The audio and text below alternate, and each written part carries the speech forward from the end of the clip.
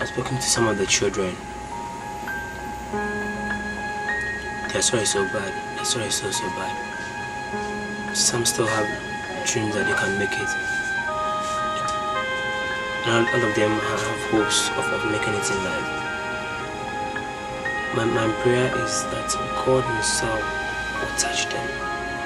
So that when they, they become great people in the future, they will not forget about their roots. We are counting on you to just stretch forth and touch the soul. Might not know who you are touching today. I'm telling you that who is there today will touch you tomorrow. Especially to, to Ghanaians who are living out there. Your brothers and sisters are really suffering. If you think about this thing, it could have been you. It could have been you.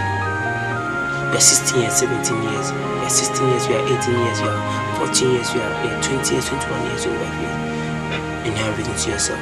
But there's some living on the streets of Accra, on the streets of Tema, on the streets of Ghana, always begging for food before they eat. They don't get the conflicts.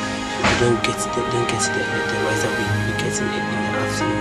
And, and, and, and supper time is something they, they, they, they don't even think of. God is there to help believe you can touch them. Please. And please. And please. As you watch this interview, just allow yourself for God to speak you.